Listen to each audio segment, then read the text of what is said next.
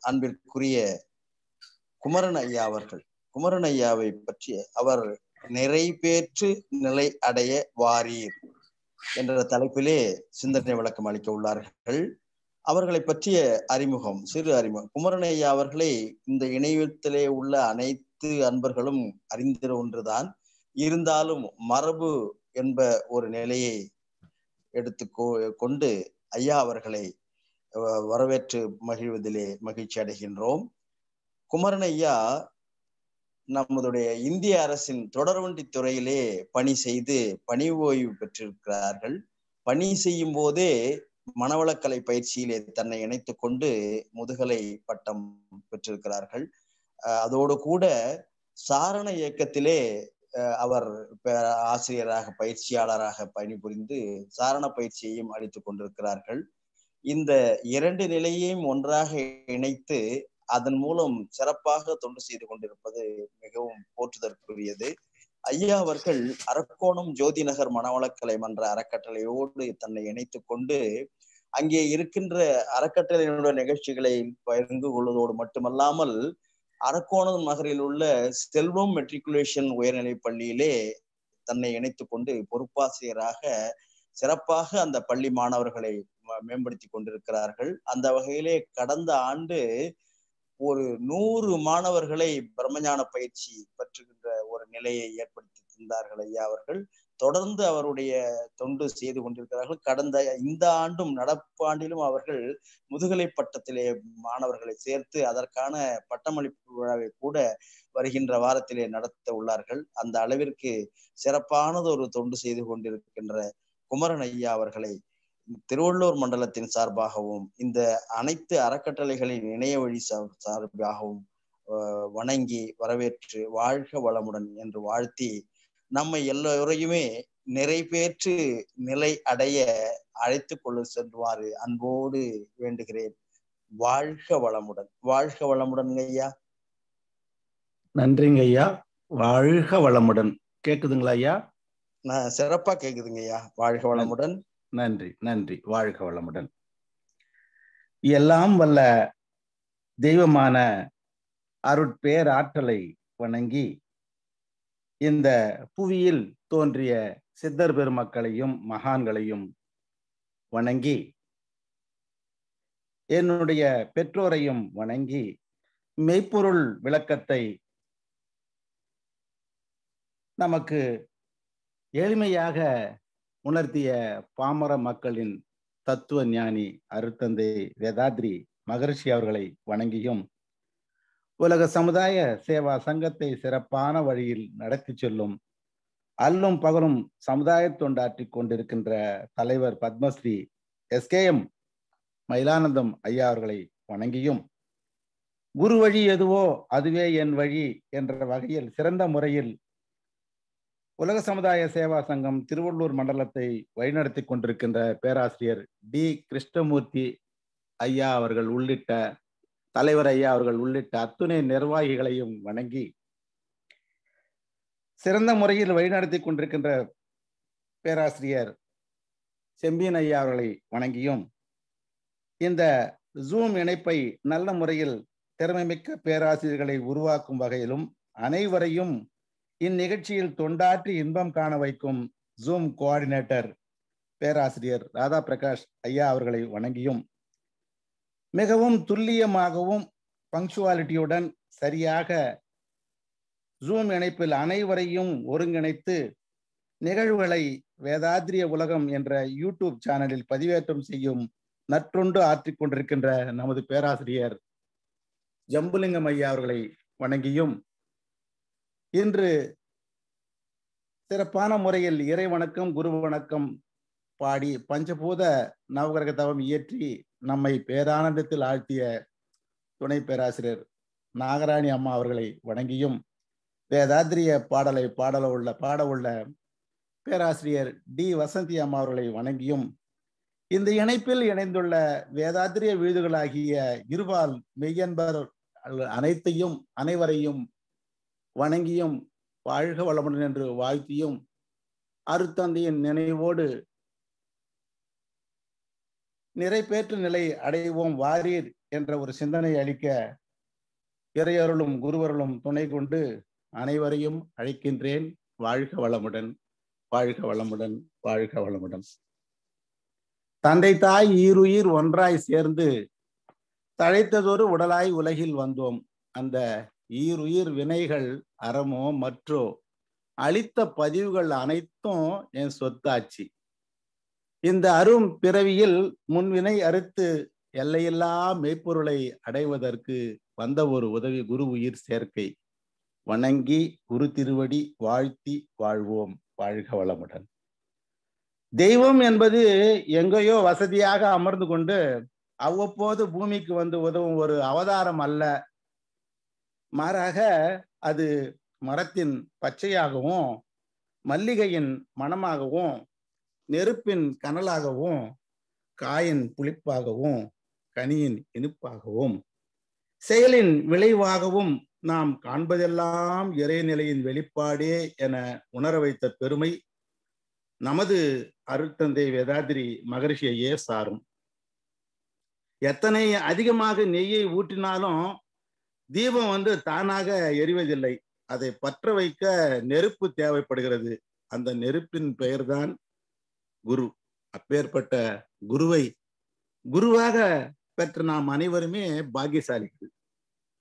ஆதிசங்கரின் அத்வைத பார்வையையும் கார்ல மார்க்சின் சமநோக்கையும் பாரதியின் துணிச்சலையும் வள்ளலாரின் கருணை என்னும் அனைத்தும் கலந்த கலவையே அந்த கலவையை தவம் என்னும் தட்டில் வைத்து தந்தை பெரியாரின் சிந்தனையில் பிறந்த அக்னி கனலை மூட்டி ஐன்ஸ்டீனின் விஞ்ஞான பார்வை சற்று தூக்கலாக தூவி அருவி என்னும் கரண்டியால் அந்த கலவையை கிளறி பதம் பார்த்து இறக்கினால் நமக்கு கிடைப்பது வேதாத்திரியம் என்னும் சிறப்பான ஒரு தெய்வ அமுது அருள் அமுது ஆகும்.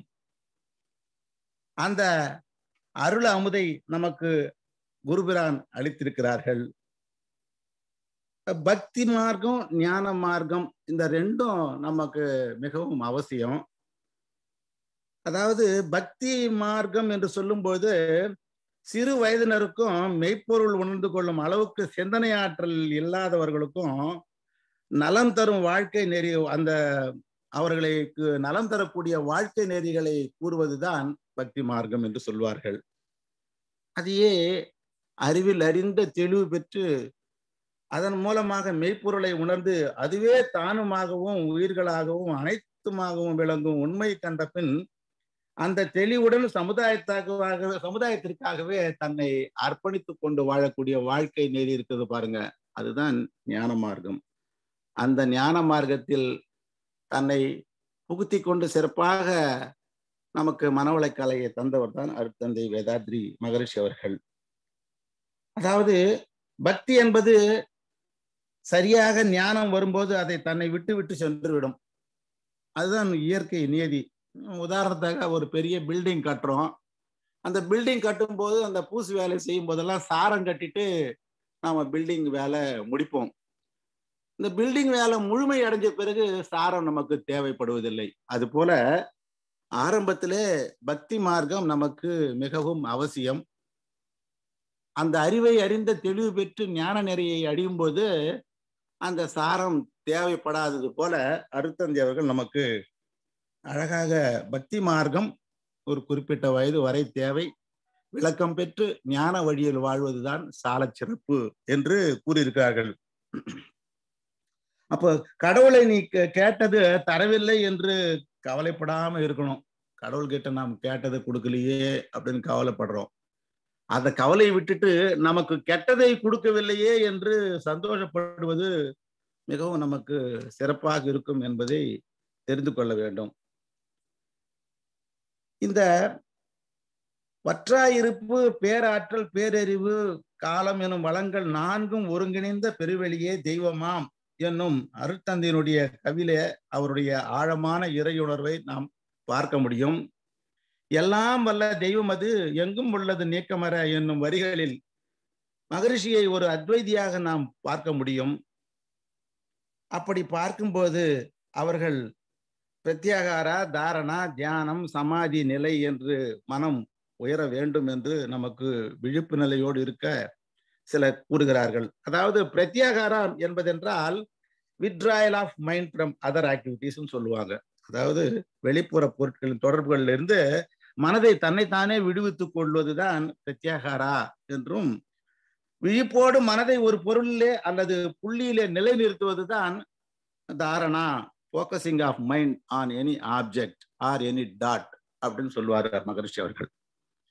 அதே போல தியானத்தை சொல்லும்போது உயிரில் படற்கை நிலையான அந்த மனதை வந்து அது புறப்படுற இடமான அந்த உயிரிலேயே ஒடுங்கி நிற்பதுதான் தியானம் என்றும் இறையுணர்வு பெற்று அந்த பேராற்றலும் மனதை ஒன்று செய்து அதுவாகவே மாறிவிடுறோம் பாருங்க. அதற்கு சமாதி நிலை என்று அருத்தந்தர்கள் இவ்வாறாக மனதை ஒவ்வொரு நிலைக்காக உயர்த்த வேண்டும்.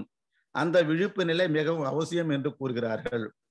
அப்போ விழிப்பு நிலை விழிப்பு நிலை அப்படின்னு சொன்னா என்ன என்பதை நாம் நிறைய பேருக்கு தெரியறதில்லை. நாம் இந்த உடல் எடுத்து வந்துள்ளேன். என் வினைகளை வந்து கலைந்து இறைவனை அடைய வேண்டி தவறில்லாத நல்ல செயல்களை மட்டுமே செய்து கொண்டே வர வேண்டும் என்ற மனநிலை தான் விழிப்பு நிலை எந்த சூழ்நிலையிலும் நாம் தவறு செய்யக்கூடாது என்ற ஒரு மனநிலையிலேயே இருப்பதுதான் விழிப்பு நிலை என்று அருத்தந்தி அவர்கள் கூறுகிறார்கள். இதையே நாம பல கருமையும் கலங்கப்பட்டிருக்கிற காரணத்தினால உணர்ச்சி வயப்பட்ட நிலையில நாம் இதை சாதிக்க முடியாது. அந்த உணர்ச்சி வயப்பட்ட நிலை எதுன்னு சொன்னா தேவை பழக்கம் சூழ்நிலையால் வந்து இன்ப இன்பத்துன்பங்களை இன்ப துன்பங்களை வந்து தூய்க்கும் போது அறிவு புரிகி நின்று அதன் அதன்படி செயல்படுகிறோம் பாருங்க. அந்த ஆர்வம் தான் உணர்ச்சி வயம் அப்படின்னு சொல்றாரு மகரிஷி அவர்கள். இந்த உணர்ச்சி வயல் வயத்திலிருந்து விடுபட்டு அந்த விழிப்பு நிலையோடு தவமாற்ற வேண்டும் அப்படின்னு அழகா நமக்கு அருத்தந்தி அவர்கள் தவத்தின் மேன்மையில சொல்லியிருக்காரு. அப்ப தவம் என்றால் என்ன? நிறைய பேருக்கு தெரியும். இருந்தாலும் மன அலச்சுழலை குறைத்து அலைகள் நிலைகளாக நிலைத்து அதன் மூலம் இயற்கையில் பெருமையை சிறப்பையும் மற்றும் விளைவுகளையும் உணர்ந்து தனது அறிவுதான் பேராற்றலான எல்லாம் வல்ல அந்த இறைவெளியாக உள்ளது என்பதை அறிந்து கொண்டு முழுமை பேர் அடைய நாம் செய்யும் ஒரு செயல் இருக்குது பாருங்க. அதுக்குதான் அருத்தந்தி அவர்கள் தவம் என்று சொல்கிறார்கள். அந்த அறிவை அறிந்த தெளிவோடு அந்த இறைநிலையோடு ஒன்றுவதுதான் தவம். அப்படியாக இந்த துரியாதீத தவ நிலைக்கு முன்னாடி நமக்கு அருத்தந்தி அவர்கள் ஆக்கினையை கொடுக்குறாரு. அந்த ஆக்கினையில வந்து நல்ல ஒரு சிறப்பான கவியை கொடுத்து அதை விளக்கம் கொடுத்து அந்த தொட்டு உணர்த்துகிறார்கள். அதாவது தொட்டு காட்டாத வித்தை சுட்டு போட்டாலும் வராது அப்படின்னு சொல்லுவாங்க. நாட்டுப்புறத்துல எல்லாம் பச்சை குத்திக்குவாங்க. அந்த பச்சை குத்திக்கிட்டு நடுவுல பொட்டு மாதிரி குத்தி வச்சிருப்பாங்க. அப்படி குத்தி வைத்து கொண்டாலும் கூட அங்க பழமொழி ஒன்று சொன்னேன் என்னதான் ஒரு குரு தொட்டு காட்டினாதான் அதை உணர முடியும் என்பதை காட்டிதான் தொட்டு காட்டாத வித்தை சுட்டு போட்டாலும் வராது அப்படின்னு சொல்லியிருக்காங்க. மகரிஷி அவர்கள் ஒரு சிறப்பான கவி முறையில அந்த ஆஜினியை நமக்கு தெளிவுபட கூறுகிறார். இருவிழி மூக்கு முனை குறிப்பாய் நிற்க எண்ணத்தை புருவங்களிடை நிறுத்தி ஒருமுறை ஒருமையுடன் குருநெறியில் பழகும் போது உள்ளொளியை பூரித்து கருவுக்கு மூலமான வேகமூட்டும் கருத்துக்கு இந்நிகழ்ச்சி உணர்வாய் தோன்றும். அருவ நிலையாம் ஆதி உருவாய் வந்து அத்துவித ரகசியமும் விளக்கமாகும் என்று அந்த சிறப்பான ஒரு கவியை நமக்கு கொடுக்கிறார்கள். இதுதான் சித்தர்கள் வந்து முத்து முகப்பு முச்சந்தி வீடு பஞ்சனை மேல் இருக்கை ஏறுபடி தவம் என்றெல்லாம் இந்த தவத்தை கூறுவார்கள். இந்த தவம் ஏற்றும் போது மனம் வந்து அந்த மனம் ஒன்றி ஆக்னியில் நிற்கும் போது நம்மளுடைய ஆகாமிய கர்ம வினைகள் தீரும் புலன் வயப்பட்ட நிலையிலிருந்து நாம் விடுபட முடியும் என்று அருத்தந்தி அவர்கள் கூறுகிறார்கள். ஆக்கினையிலே மனம் நிலைத்து நிற்க வேண்டும். அடுத்ததாக துரியத்துக்கு நம்ம அழைத்து செல்கிறார். மனம் வந்து மேலும் துரியம் வரை உயர்ந்து செல்ல வேண்டும். அப்படி துரியத்துல உயர்ந்து செல்லும் போது வந்து அந்த சிறப்பை நாம் அந்த பேராகாசம் ஆக உள்ள அந்த உயிர் மேல் மனம் வைத்து தியானம் பண்ண முடியும். அதாவது இந்த பிரபஞ்ச தோற்றங்களுக்கெல்லாம் காரணமாகிய மிக நுண்ணியக்க மூலக்கூறு வின் இது பேரியக்க மண்டலத்தில் ஆற்றல் களமாகவும் ஒவ்வொரு உயிர்களிடத்துல உயிராற்றலாகவும் இருப்பதை நாம் உணர்ந்து கொள்ள முடியும்.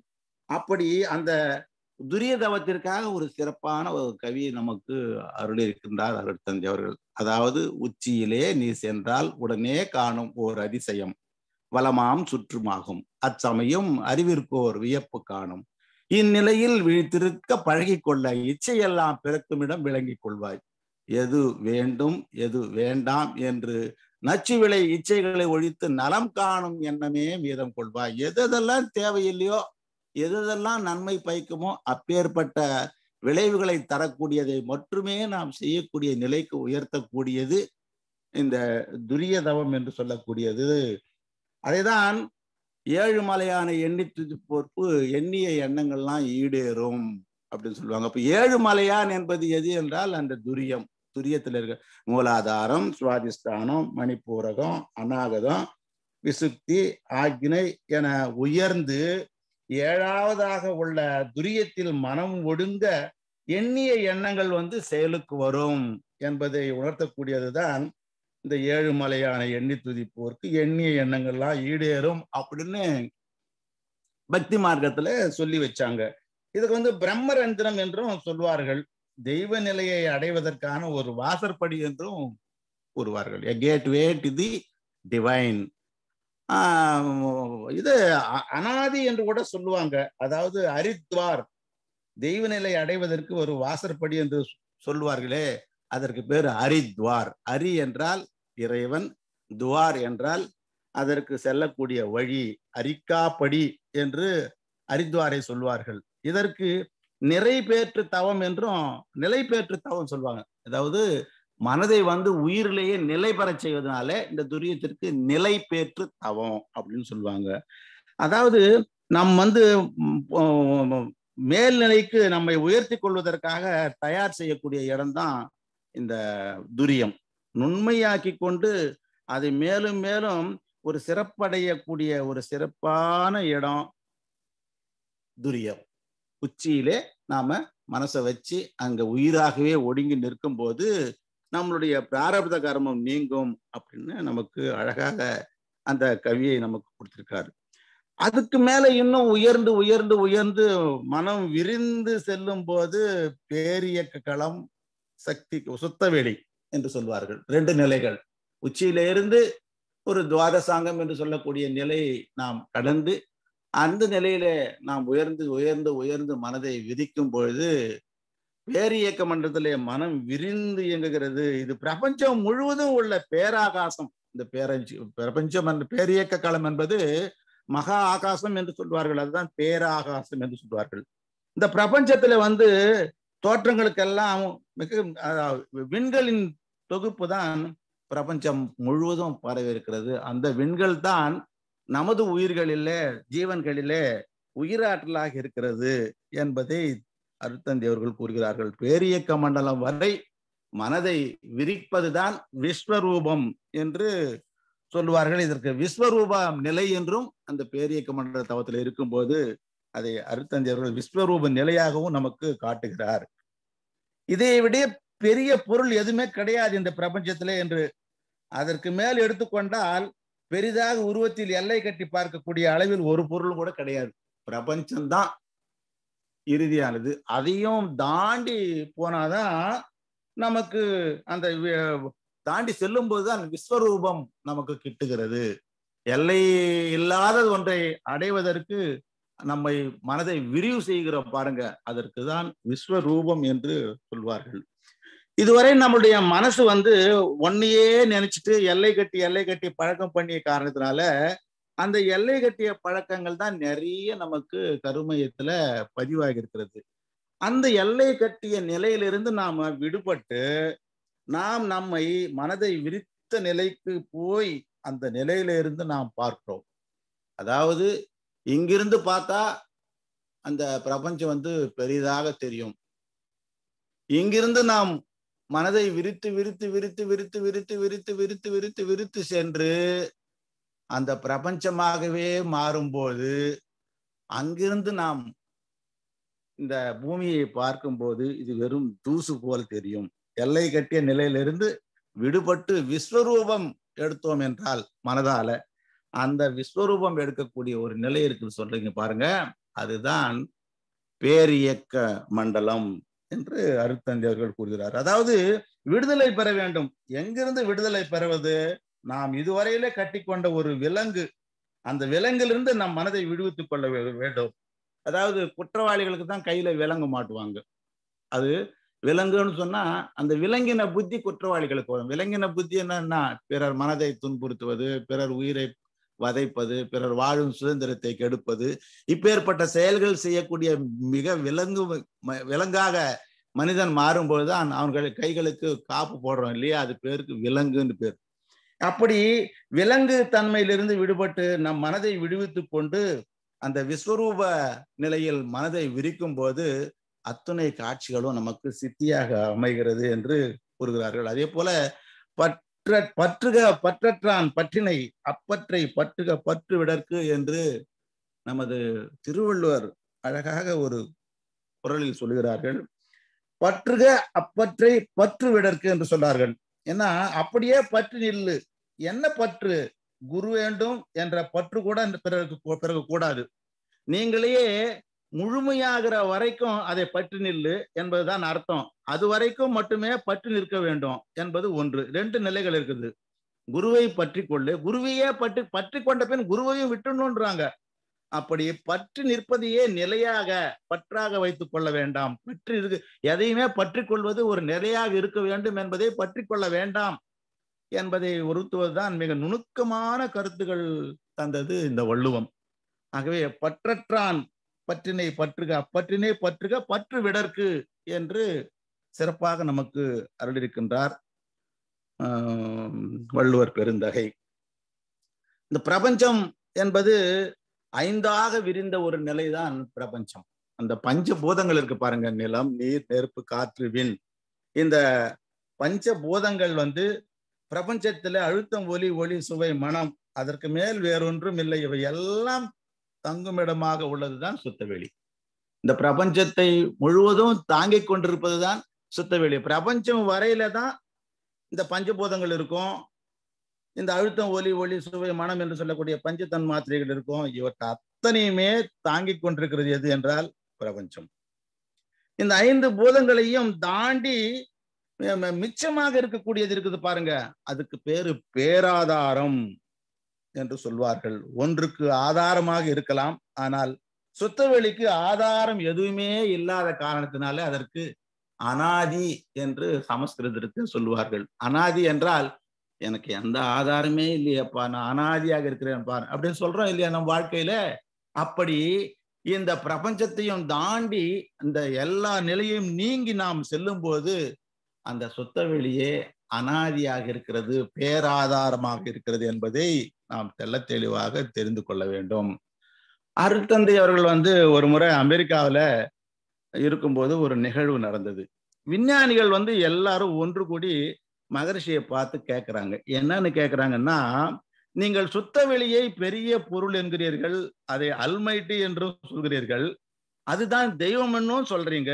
அது எப்படி நிரூபிப்பீர்கள்? என்று அவரை பார்த்து கேட்டார்கள். அப்போ பிரபஞ்சத்துல பெரிய பொருள் எது அப்படின்னு கேட்கும்போது சூரியன் அப்படின்னு சொல்றாங்க. சூரியனை விட பெரியது அதை விட பல லட்சம் மடங்கு பெரியவை நட்சத்திரங்கள். ஆமா. அது தூரத்துல இருந்தால் நட்சத்திரம் கிட்டக்க இருந்தால் சூரியன். ஐ கரெக்ட் அப்படின்னு கேட்கிறாரு மகரிஷி. எஸ் அப்படின்னு அக்ரி பண்றாங்க. அப்படியானால் இவ்வளவும் சேர்ந்து எங்கே இருக்கின்றன என்று ஒரு கேள்வி கேட்கிறாரு மகரிஷி அவர்கள். அப்போது எங்களுக்கு ஒண்ணுமே புரியவில்லை என்று அவர்கள் கூறும்போது சொத்தவெளியில் தான் இவ் அனைத்தும் இயங்கி இயக்கி கொண்டிருக்கிறது. இயங்கி சுத்தவெளி தான் இயக்கி கொண்டிருக்கிறது. அது எல்லாமே அதில் தான் இயங்கிக் கொண்டிருக்கிறது என்பதை அழகாக அருத்தந்தி அவர் கூறியதை அவர்கள் வரவேற்றனர்.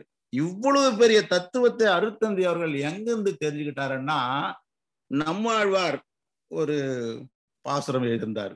அது எழுதியிருந்தார். அந்த ஆழ்ந்து அகன்று ஓங்கி உயர்ந்து முடிவில் பெரும் பாழேயோ என்ற ஒரு வரிகளிலே அருத்தந்தையவர்கள் அதை உணர்ந்து உணர்ந்து ஆராய்ச்சி செய்து அந்த ஆராய்ச்சி செய்த நிலைதான் துரியாதீதம். அவரு என்ன அந்த கவின்னா நன்றாய் ஞானம் கடந்து போய் நல் இந்திரியம் எல்லாம் ஈர்த்து ஒன்றாய் கிடந்த அரும் பெரும் பாழ் உலப்பல் அதனை உணர்ந்து உணர்ந்து சென்று அங்கு இன்ப துன்பங்கள் செருக்களைத்து பசையாற்றல் அன்றே அப்போதே வீடு அதுவே வீடு வீடாமே என்ற இந்த வரிகளிலே அருத்தந்தை ஆராய்ச்சி செய்து நுணுகிய போது அந்த துரியாதீதம் பற்றி அருமையாக உணர்ந்து கொள்கிறார்கள். நிறைய பேர் வந்து மகான்கள் வந்து துரியாதீதத்தை பற்றி பேசியிருக்கிறார்கள். எத்தனையோ பேர் இதுல நான் இந்த நாட்டுல அதை பற்றி பேசியவர்கள் எழுதியவர்கள் தான் உண்டு. ஆனால் அதை உணர்ந்து உணர்த்தியவர்கள் யாராகலாம் இருக்கிறார்களா என்று பார்க்கும்போது அருட்தந்தை மட்டுமே அதை உணர்ந்து நமக்கு அருள் இருக்கிறார் என்றால் உண்மையிலேயே அருத்தந்தை குருவாக பெற்ற நாம் அனைவருமே பாக்கியசாலிகள். ஏனென்றால் நிறைய குருமார்கள் வடமொழியிலே நிறைய கருத்துக்களை எழுதியிருப்பார்கள். ஆனால் தமிழிலேயே நமக்கு அத்துணை சிறப்புகளையும் நமக்கு ஈஸியா புரிஞ்சு கொள்ளக்கூடிய வகையில தமிழுக்கு அமுது என்று பேர் என்று சொல்வார்கள். அந்த தமிழ் மொழியிலேயே நமக்கு இறை ரகசியத்தை உணர்த்திய ஓதி உணர்ந்தவர் என்று சொல்வதற்கு பதிலாக உணர்ந்து ஓதியவர் என்று சொல்லக்கூடிய வகையில அருட்தந்தை அவர்கள் நமக்கு அருள் இருக்கிறார் என்றால் உண்மையிலேயே நாம் அனைவருமே பாக்கியசாலிகள். ஒருத்தன் வந்து மண்பானை கிட்ட கேட்டானா என்னன்னு கேட்டான் இந்த கொளுத்து வெயில் கூட நீ மட்டும் எப்படி உள்ள ஜில்லுன்னு இருக்கிறாய் என்று கேட்டபோது பானை சொன்னது. என்னன்னு சொல்லிச்சுன்னா என்னுடைய ஆரம்பமும் மண்ணுதான் முடிவும் மண்ணுதான்.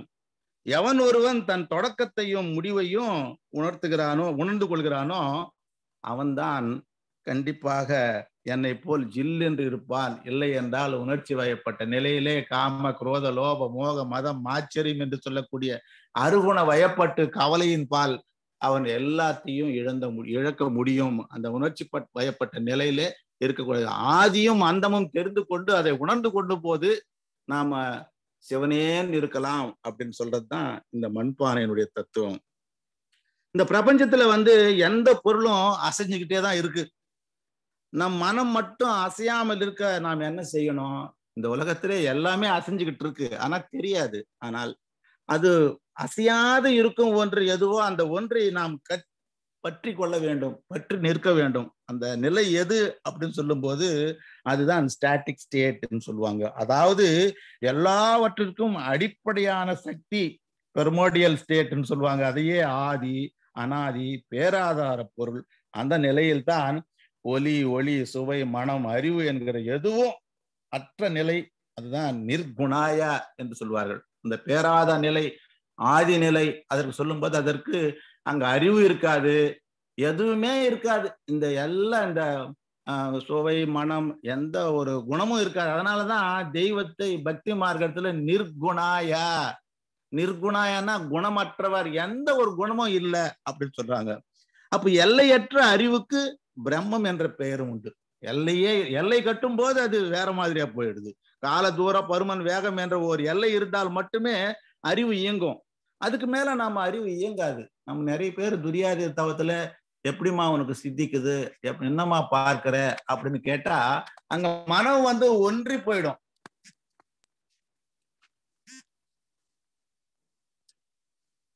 அங்க மனம் ஒன்றி போகும்போது அங்க நிர்சலனமா இருக்கும். எதுவுமே தெரியாது. பார்க்க முடியாது. கும்மிருட்டு. அதனால எனக்கு தெய்வம் காட்சி தந்தது. எங்க அப்பா அம்மாவை பார்த்தேன் யாரோ சொல்லுவாங்க. ஆனா அது வந்து துரியாதீதம் சித்திப்பதன் அடையாளம் கிடையாது. எதுவுமே தெரியாது. நிர்குணாய அங்க எதையும் பார்க்க முடியாது என்று கூறுவார்கள். அந்த மாதிரி அந்த காலதூர பருமன் வேகத்துக்கு உட்பட்டு அது இயங்கும் போது வெள்ளை கட்டும் போது அங்கே அறிவு இயங்கும். அதை தான் பக்தி மார்க்கத்துல குணாத்மனே எல்லாமாக இருப்பவனே எல்லா குணங்களை உடையவனே அப்படின்னு சொல்லுவாங்க. நிர்குணாயன்னு சொல்றாங்க ஆதியை. குணாத்மனேன்னு சொல்லும்போது எல்லை கட்டி வரும்போது அது குணாத்மனாக மாறுகிறது என்பதை கூறுகிறார்கள். அப்ப அறிவு என்றால் என்ன? இந்த பிரபஞ்ச தோட்டங்களுக்கு காரணமாக மிக நுண்ணிய இயக்க கூறு இருக்குது பாருங்க. நமக்குள் உயிராக உள்ளது என அந்த பிரபஞ்சத்தையும் நம்மையும் தொடர்படுத்தி தொடர்பு படுத்தி தொடர்பு படுத்தி அந்த அறிவை கொண்டு அதற்கு மூலமாக இருப்பதை நாம் உணரும் போது அந்த சொத்த வெளியே தான் தெய்வமாக இருக்கிறது அறிவேதான் பிரம்மமாக இருக்கிறது என்பதை நாம் தெரிந்து கொள்ள வேண்டும். இந்த அறிவேதான் பிரம்மமாக இருக்கிறது என்று தாயுமானவர் நிறைய பாடல்களில் நமக்கு கொடுத்திருக்கிறார். அதைதான் அறிவேதான் தெய்வம் என்றார் தாயுமானார். அகத்தது தான் மெய்ப்பொருள் என்று எடுத்து காட்டி அறிவதனை அறிவித்தார் திருவள்ளுவர். அவ்வறிவை அறிவதற்கு முறைகள் சொன்னார் அறிஞர் திருமூலர். அப்பேரறிவில் ஆழ்ந்து ஆனந்த கவியாத்தார் ராமலிங்கர். அறிவுக்கு அறிவு திருக்கோயில் கட்டினார் அருத்தந்தை வேதாத்திரி மகரிஷி அவர்கள். அவ்வறிவில் ஆராய்ந்து எல்லாருமே அந்த பாடல்கள் வந்து நிறைய பேர் அறிவை தான் தெய்வம் என்று சொல்கிறார்கள். அந்த அருத்தந்தை அவர்கள் நமக்கு அந்த அப்பேற்பட்ட அறிவை கூட்டக்கூடிய வகையிலே நமக்கு அருளி இருப்பதுதான் அறிவு திருக்கோயில்கள் என்பதை நாம் தெரிந்து கொள்ள வேண்டும்.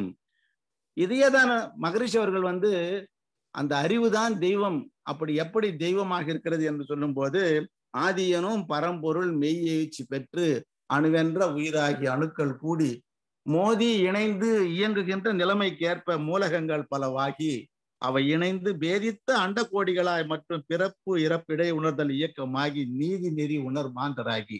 வாழும் நிலையுணர்ந்து தொண்டாற்றி இன்பம் காண்போம் என்ற கவிய எழுதியிருக்காரு. அதையே இன்னொரு கவி அழுத்தம் எனும் உந்தாற்றல் ஒன்றை கொண்டே அணுமுதலாய் அண்டகோடி அனைத்துமாக்கி வழுத்தும்போர் அறிவு முதல் ஐந்தும் ஆறும் வகை வகையாக உயிரினங்கள் தோற்றுவித்து முழு திறனுடன் காத்து முடிக்கும் மேலாம் முழு முதற் பொருளே நம் அறிவாய் ஆற்றும் என்ற இரண்டு கவிகளையும் நாம் அந்த துரியாதி தவத்தோடு ஒப்பிட்டு ஒப்பிட்டு ஒப்பிட்டு ஒப்பிட்டு ஒப்பு நோக்க ஒப்பு நோக்க நமக்கு சிறப்பாக அந்த துரியாதி தவத்தின் மேல்மை நமக்கு கிட்டும் சொல்றார் மகரிஷி அவர்கள். இந்த ரெண்டு கவிகளையும் ஒரு முறை நம் மனசுல நிலைநிறுத்தி அந்த துரியாதித தவத்தோடு ஒன்றி பார்க்க சொல்றார். அப்படி ஒன்றி பார்க்கும்போது அந்த துரியாத நிலை என்று சொல்லக்கூடிய நிறைவேற்று நிலையை நாம அடைய முடியும். அதுதான் முப்பாள் முப்பாழ்ன்னு சொன்னா ஆதியான சுத்தவெளி சதாசிவமாக இருக்கிறது. அது எப்பவுமே சிவம் அசையாது. சுத்தவெளி அதுல இருந்து தோன்றிய இறைத்துகள் அசையும். ஆதி அதற்கு முன்னாடி இருக்கக்கூடியது ஆதியான சுத்தவெளி தான் சதாசிவமாக இருக்கிறது. அப்படி அது இறைத்துகளாகி அணுக்களாகி அந்த அணுக்களுக்கு இடையே ஒரு வெளி இருக்குது பாருங்க. அணுக்களுக்கு இடையிலேயும் ஒரு வெளி சுத்த வெளி இருக்கிறது. அந்த சுத்த வெளிக்கு பேரு சிவம் என்று சொன்னார்கள் பக்தி மார்க்கத்திலே. அந்த அணுவின் மையத்திலே ஒரு இயங்காத ஒரு பகுதி இருக்கும். அந்த வெளியை வந்து சக்தி சிவம் அப்படின்னு சொல்லுவாங்க. எப்படி? சதாசிவமும் சிவமாகவும் சக்தி சிவமாக இருக்கக்கூடியதுதான் முப்பாள் என்று பக்தி மார்க்கத்தில் சொல்லப்படுகிறது.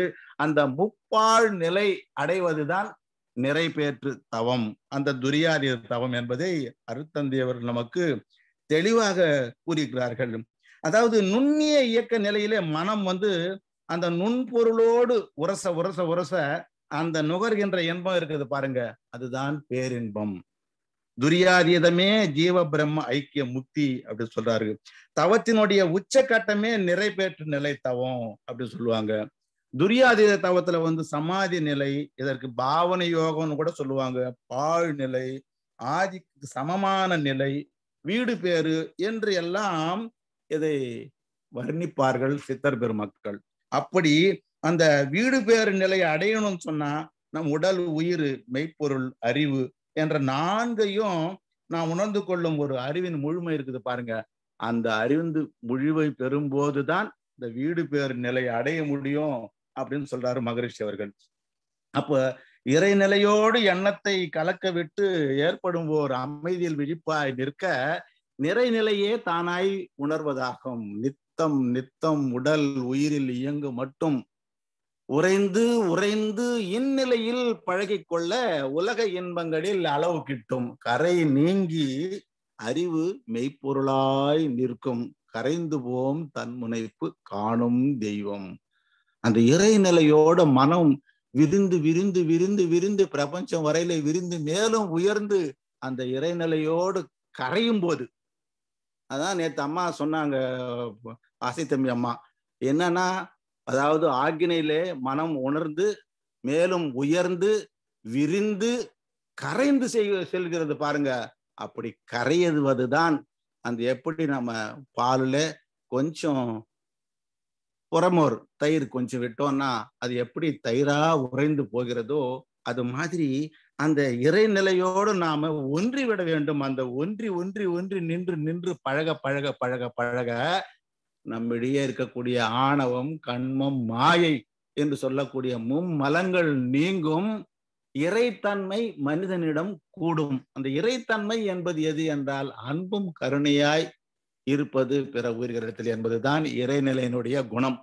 அப்படி பார்க்கக்கூடிய காட்சிகளையும் பார்க்கக்கூடிய உயிரங்களையும் நாம் தெய்வமாக இறைநிலையாகவே நாம் உணர முடியும் என்ற நிலை எப்போது நமக்கு கிட்டும் என்றால் அந்த இறைநிலையோடு எண்ணத்தை கலக்க விட்டு அந்த உரையும் செயலில் முழுமையாக ஈடுபடும் போது நமக்கு கிட்டும் என்று அருத்தந்தி அவர்கள் அழகாக கூறியிருக்கிறார்கள். அதாவது கடல் ஆழத்தை காண சென்ற உப்பு பொம்மை போல. அந்த உப்பு பொம்மை கடல் ஆழத்துக்கே ஒரு உப்பு பொம்மை போட்டோம்னா என்னவா மாறிடும்? கடலாகவே மாறிடும். அது போல ஆதியை காண சொல்லக்கூடிய நாம் இந்த துரியாதை தவத்தின் மூலமாக ஆதியை ஆதி நிலைக்கு நம்மை உயர்த்தி கொண்டு அந்த ஆதி நிலையாகவே என்று ஆதிநிலை என்று சொல்லக்கூடிய கடலிலே கரையக்கூடிய பொம்மையாக உப்பு பொம்மையாக நாம் மாறிடணும். அப்படி மாறும்போதுதான் அந்த நிறைவேற்று நிலையை நாம கண்டிப்பா அடைய முடியும். அகத்தாய்வு அகத்தவம் தத்துவம் இதை மூன்றையும் கலந்து எல்லோருக்கும் எளிதா கற்றுக் கொடுத்து அந்த கற்றுக் கொடுப்பதற்காக ஒரு பாடத்தை தயாரித்து மக்களை படிப்படியாக உயர்த்துகிற ஒரு நிலை இருக்கிறது பாருங்க. அப்படி உயர்த்துகிற நிலையினால்தான் மகரிஷி ஒரு பல்கலைக்கழகமாக விளங்குகிறார்கள். அப்பேற்பட்ட குருவின் பெயரிலே வேதாத்திரிய பல்கலைக்கழகம் அமைய நாம் அனைவரும் தொண்டாற்றுவோம். அப்படி தொண்டாற்றும் போது கண்டிப்பாக அருத்தந்தையனுடைய கனவு உலக அமைதி அது வந்து நமக்கு கிட்டும். அப்படி அருத்தந்தையின் கனவு நனவாவதற்கு வேதாத்திரிய பல்கலைக்கழகங்கள் உருவாக வேண்டும். கடலாழத்தை காண செல்லக்கூடிய உப்பு பொம்மை போல உறைந்து உறைந்து உறைந்து இறைநிலையோடு நாம் நின்று நின்று இறை உணர்வு பெறும்போது கண்டிப்பாக அற வாழ்க்கையை வாழ முடியும். அப்படி பார்க்கும்போது எதை பார்த்தாலும் கல்லை கண்டால் நாயை காணும் நாயை கண்டால் கல்லை காணும் என்று ஒரு பழமொழி சொல்வார்கள் அந்த எந்த ஒன்றிலும் நாம இறைநிலையை பார்க்கணும். கல்லு கல்லா பார்த்தா அது கல்லா தெரியும். அந்த கல்லுக்குள்ள இருக்கக்கூடிய நாயின் உருவத்தை பார்த்தால் அது நாயா தெரியும். எத் பாவம் தத் பவதி. எதை நீ பார்க்கிறாயோ அதுவாகவே மாறக்கடவாய். எப்பொருள் எத்தன்மையதாயினும் அப்பொருள் மெய்ப்பொருள் காண்பது அறிவு என்று சொல்வார்கள் வள்ளுவர் பெருந்தகை. எப்பொருளை எச்செயலை எக்குணத்தை எவ்வுயிரை எவர் ஒருவர் அடிக்கடி நினைத்தாலும் அப்பொருளின் தன்மைதாய் நினைப்போர் ஆற்றல் உடலினிலும் அறிவினிலும் மாற்றம் காணும். இப்பெருமை இயல்பூக்க நீதியாகும். அப்படின்னு நமக்கு அருட்தந்தை அவர்கள் ஒரு கவியில கூறுகிறார். எதை நினைக்கிறாயோ அதுவாக மாறக்கடவாய் அது நானே ஒளியாக இருக்கிறேன் ஜோதியாக இருக்கிறேன் நானே அனைத்துமாக உள்ளேன் என்று கிறித்துவத்துல கூட ஒரு வாசகம் இருக்கிறது. உள்ளதை உணர்ந்து நல்லதை செய்து அல்லதை தவிர்த்தால் நாம் அந்த இறை உணர்வு பெற முடியும். உள்ளதை உணர்ந்து கொண்டு நாம் யாரு நாம் எங்கிருந்து வந்திருக்கோம் நமது மூலம் என்ன என்பதை உணர்ந்து கொள்வதுதான் இறை உணர்வு. அப்படி இறை உணர்வு பெற்ற பிறகு நாம அல்லதை தவிர்க்கணும். நல்லது செய்யலைன்னா கூட பரவாயில்ல. அல்லதை தவிர்த்து உபகாரம் பண்ணனா கூட பண்ணவா பரவாயில்லை. ஆனால் உபதிரவம் பண்ணக்கூடாது என்பதை நாம் அந்த இறை உணர்வு மூலமாக பெற முடியும். மெய்ப்பொருள் காண்பது அறிவு என்று ஒரு அழகான ஒரு வார்த்தை மகரிஷி அவர்கள் கூறுகிறார்கள். ஆதி அனாதி தெய்வம் பூரணம் என்றெல்லாம் சொல்லுவார்கள். இந்த பூரண கோம்பம் தான் கோயில்களில் வந்து கொடுக்குறாங்க. அது யாருக்கு கொடுக்கணும் சொன்னா இப்ப யாராருக்கோ கொடுக்குறாங்க. அதை பத்தி கவலை இல்லை. ஆனால் பூரணத்தை அறிந்தவர்களுக்கு மட்டுமே தான் பூரண கும்பம் மரியாதை செய்ய வேண்டும் என்றது ஒரு நியதி. இந்த பூரணத்தை என்ன? இந்த இறையுணர்வு பெற்றவர்களுக்கு அற வாழ்க்கை வாழக்கூடிய அந்த நல்ல உள்ளங்களுக்கு தான் கோவில்களிலே பூரண கும்பம் அளிப்பது என்று ஒரு ஒரு முறை ஆதியிலிருந்து இருந்து வருகிறது. ஆனால் இப்போது அது மாறிவிட்டது. ஆகவே துரியாதயத்துல வந்து நமக்கு மும்மலங்கள் நீங்கும். அதே மாதிரி நீண்ட கால நோய் ஏதாவது இருந்துன்னு சொன்னா அதனுடைய தாக்கம் இருக்காது. நோய் இருக்கும். ஆனால் அந்த நோயினுடைய தன்மை நமக்கு துன்பத்தை தராத நிலையில இருக்கும். வாழும் போதே ஒரு முக்தி நிலை அடைவதற்கு ஒரு சிறப்பான ஒரு தவம் நமக்கு அருத்தந்தி அவர்கள் அருள் இருக்கின்றார்கள் முக்தி மோட்சம் வீடு பேரு என்றெல்லாம் இதை சொல்லுவார்கள். அப்படின்னா என்னன்னா ஆன்மா வந்து வினைகளை கடந்து பற்றுகள்ல இருந்து விடுபட்டு அந்த இறுதி நிலையான அந்த கடைநிலையான அந்த இறைநிலையோடு ஒன்றி விடுவதுதான் முக்தி மோட்சம் வீடு பேரு இப்படி எல்லாம் சொல்லுவாங்க. இதை விதி மதியன்னு கூட சொல்லுவாங்க. விதி என்பது இயற்கை சட்டம் நேச்சர் ஆஃப் லா இதுதான் இதுதான். என்ன உப்பு சாப்பிட்டா தண்ணி குடிச்சுதான் தீரணும். அதுதான் விதி. அதை மதியால நாம மாற்றிக்கொள்வது இருக்குது பாருங்க. அந்த இயற்கை சட்டத்தை வந்து நம்மளுடைய அறிவின் மூலமாக மாற்றிக்கொள்கிறோமே அதற்கு பேர் தான் மதி என்று சொல்கிறார்கள். அதாவது அரிசி வந்து உற்பத்தி ஆகுது நெல் உற்பத்தி ஆகி அதுல இருந்து அரிசி கிடைக்கிறது இது விதி. அந்த அரிசியை நாம விதவிதமான சாதமாக்கி சாப்பிட்றோம் பாரு வெரைட்டி ரைஸ் பிரியாணி பிரிஞ்சி அதே மாதிரி சாதம் இப்படியெல்லாம் மாத்தி நம்ம இன்பத்தை தூக்கிறோமே. அதே மாதிரி பருத்தி என்பது விதி காட்டன் அதை வந்து ஆடையாக மாற்றிக்கொள்ளக்கூடியது மதி. பருப்பு என்பது விதி அதை வடையாக நாம சொல்றோங்களே லேடிஸ் அது மதி. இப்படி பூர்வ புண்ணியம் நன்றாக இருந்தால் நாம் விதியை வந்து மதியால கண்டிப்பா வெல்ல முடியும் என்பதே நாம் விதி மதிக்கு மதிக்கு மனவளக்கலை மன்ற அன்பர்கள் அப்பாற்பட்ட விதிக்கு அப்பாற்பட்டவர்கள் என்றால் விதியை மதியால் வெல்லக்கூடிய ஒரு திறமையை அருத்தந்தை வேதாத்திரி மகர்ஷி அவர்கள் நமக்கு வேதாத்திரியத்தின் மூலமாக அருளிருக்கின்றார்கள் அதாவது ஜீவன் வந்து விடுதலை அடைந்து அந்த பற்றிலிருந்து விடுதலை பெற்று செல்லக்கூடிய ஒரு நிலைக்கு தான் முக்தி நிலைன்னு சொல்லுவாங்க. அதே மாதிரி ஜீவ சமாதி முக்தி நிலைக்கும் ஜீவ சமாதிக்கும் நிறைய வித்தியாசம் இருக்கு. முக்தி என்பது ஜீவன் விடுதலை அடைந்து பற்றிலிருந்து விடுதலை அடைந்து அந்த இறைநிலையோடு ஒன்றுவது. ஜீவ சமாதி என்பது வந்து மரியாதையான தற்கொலை அப்படின்னு மகரிஷி சொல்றாரு. அப்ப அதாவது உடலிலே உயிரை விடாமல் மன உயிரை சோற விட்டு மன இயக்கம் உடல் இயக்கம் நிறுத்தி அந்த உடலை உயிர் மட்டும் சுவர் விட்டு கொண்டு அந்த இறைநிலையோட சமாதி நிலை அடையிறதுதான் ஜீவ சமாதி அப்படின்னு சொல்றாங்க. முக்திக்கும் ஜீவ சமாதிக்கும் நிறைய வித்தியாசம் இருக்கு. இப்ப சித்தம் புத்தி அகங்காரம் இப்படி எல்லாம் கூட சொல்லுவாங்க. அது என்னன்னா ஞானத்தின் திறவுகோல் தான் சித்தம். எதையுமே ஆராய்ச்சி செய்து கன்ஃபார்ம் பண்ணும் எடுத்ததுக்கெல்லாம் ஒருத்தர் சொல்றதை வச்சு தலையாட்டுறது. தலையாட்டி பொம்மை போல இல்லாமல் you have to think you want to confirm அதை வந்து ஆராய்ச்சி பண்ணணும். ஆராய்ச்சி தான் ஞானத்திற்கு திறவுகோல். அதுதான் சித்தமாக இருக்க வேண்டும். புத்தி என்றது ஏற்கனவே பெற்ற ஒரு அனுபவம் இருக்குது. எல்லாவற்றையும் அறிந்து கொள்ளக்கூடிய ஒரு திறமை இருக்கணும். இதுக்குதான் புத்தி அப்படின்னு சொல்லுவாரு. மூணாவது அகங்காரம்னு சொல்லுவாங்க. அகங்காரம்னா நான் செய்வது தான் சரி என்று ஒரு தன்முனைப்போடு இருப்பது தான் அகங்காரம். அந்த அகங்கார நிலையிலிருந்து நாம விடுபடணும். மதி வந்து கூர்மை பெற ஏற்றது ஒரு சாதனை மார்க்கம் தான் மனவளக்கலை நமக்கு இருக்கக்கூடிய மதி எந்த அளவுக்கு ஷார்ப்னஸா இருக்குதோ எந்த நிலையோடு விழிப்பு நிலையோடு இருக்கிறதோ அந்த நிலைக்கு உயர உதவக்கூடியது அருள்தந்தை வேதாதிரி மகர்ஷி அவர்கள் அருள் இருக்கின்ற மனவளக்கலை ஆகும் ஆகவே நாம் ஒவ்வொருவரும் ஆக்கினையிலே உணர்ந்து துரியத்திலே உயர்ந்து பேரியக்க மண்டலம் வரை மனதை விரிந்து சுத்த வெளியிலே கரைந்து அந்த நிறைவேற்று நிலையை அடைவோம் என்றும் மேலும் நாம் அனைவரும் நீதி நெறி உணர் மாந்தராகி உலக சமாதான தேரை இழுக்க வடம் பிடிப்போம் என்று கூறி வாழ்க வளமுடன் வாழ்க வளமுடன் என்று வையமெல்லாம் வாழட்டும் வாழ்க்கை நலம் காத்தினிதாய். வளரட்டும் மெய்யறிவு வாழ்க்கை இன்பம் துய்த்தலிலே உய்ய மெய்ப்பொருள் நாட்டம் உலகெங்கும் மக்களிடம்.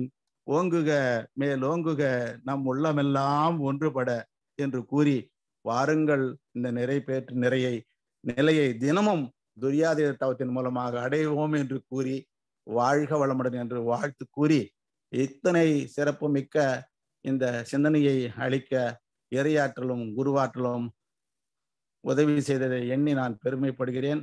எனக்கு வாய்ப்பளித்த ராதா பிரகாஷ் ஐயா அவர்களுக்கும் மற்றும் திருவள்ளூர் மண்டல தலைவர் பேராசிரியர் டி. கிருஷ்ணமூர்த்தி ஐயா அவர்களுக்கும் ஜம்புலிங்கம் ஐயா அவர்களுக்கும் நன்றிகளை உரித்தாக்கி சிந்தனையை நிறைவு செய்து கொள்கிறேன்.